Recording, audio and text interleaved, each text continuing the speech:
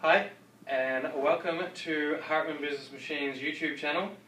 The reason you're watching this one is more than likely because you have a line appearing over your copies or your scans, not prints. So I have to reiterate, if you're getting a line across the, the printed page, then if you come to the wrong channel, you better call our service line. However, this is when lines are appearing over a copy or a scan. Okay, so the reason for this being is that once you use the doc feeder, the page comes through and is dragged across this slick glass right here. This is where the optics read the page. So if there is one little speck there, the page that's dragged over there, that speck has now become the line. So, the reason for this is it exactly what I said. There's a speck or there's a bit of paper dust or something like that on the screen, maybe even some flaky uh, toner.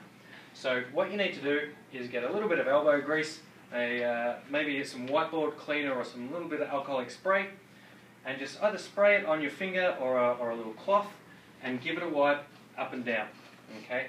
Now, if you've done that and then you, you, you recopy the, the page and it's still getting that line, what you need to do is place the copy with the line on it face up like this and then what's going to happen is that line is going to line up with where the speck is causing that.